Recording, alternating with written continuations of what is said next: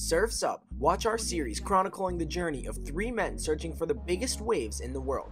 Through candid interviews with their families and friends, we get inside the heads of extreme surfers embarking on a rush of a lifetime. Surf's Up, tonight on the Extreme Summer Sports Network.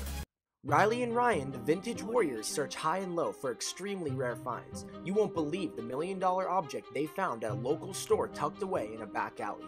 Find out on tonight's episode of Vintage Warriors Go South, only on old but new TV.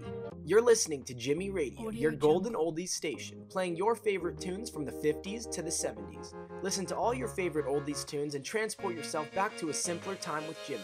We've got good music, good hosts, and of course, good listeners. So keep listening all day long and let the good times roll with Jimmy. Tune into tonight's elimination episode of All Eyes on Us and find out if David will be victorious in the final battle round, or if he will be packing up his bags and hitting the road, only on 2 Real TV. Think you have what it takes to stand amongst the fierce competitors of All Eyes on Us? Now's your chance to show us what you've got. We are casting for the third season and are now looking for your audition videos. Check us out online for more information.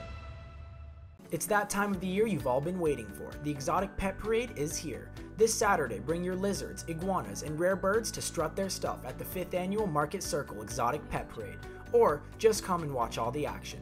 All sizes and kinds of pets are welcome. Just be sure to register online at petparade.com first. Come one, come all. Step up to the Big Hat Circus and be captured by the sounds of lions roaring, the smell of freshly popped popcorn, and the most magnificent sights you have ever seen. That's right, it's Big Hat Circus time again in Mystique Park.